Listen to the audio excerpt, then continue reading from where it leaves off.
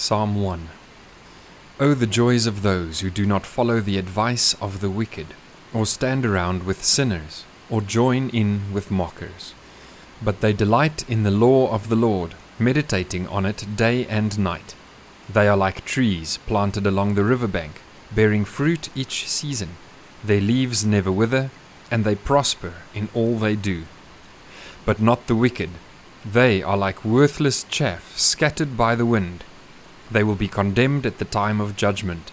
Sinners will have no place among the godly. For the Lord watches over the path of the godly, but the path of the wicked leads to destruction.